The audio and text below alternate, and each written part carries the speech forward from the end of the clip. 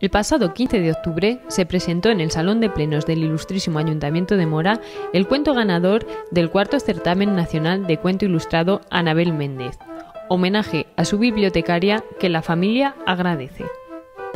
Muy agradecidos que se haga todos los años y la verdad es que estoy pues emocionada, me emociona muchísimo todo lo que sea de Anabel, me recuerda muchísimo a ella y, y bueno, feliz pero a la vez bueno, un poco emocionada.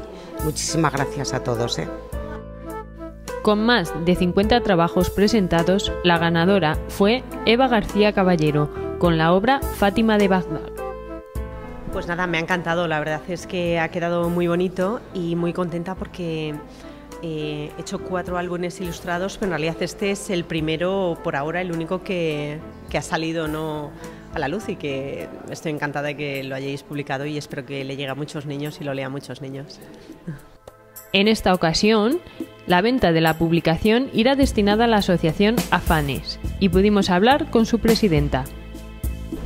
Bueno, pues Afanes Toledo surgió de un grupo de familias que teníamos niños o que tenemos niños escolarizados en colegios normales eh, y con distintos tipos de patología que no eran que no encajaban en ninguna de las asociaciones que históricamente existían o que eran de alguna forma específicas. Entonces Afanes recoge mm, a todas estas familias y trabaja con ellas y sobre todo con los niños para proporcionarles los apoyos que necesitan para poder desarrollar al máximo sus capacidades y que de esta forma puedan desarrollarse como adultos con de una forma más responsable y que necesiten los mínimos apoyos en la edad adulta que, puedan tener.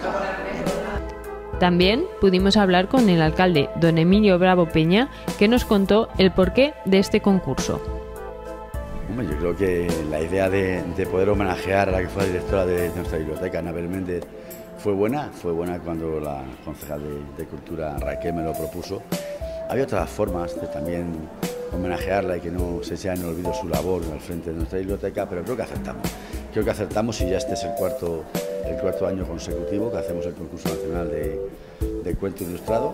Es verdad que, yo, me, estoy contento cuando veo que gente de, toda la geografía nacional concursan y están aquí. De hecho, este año la, ganadora de, de, Conferrada.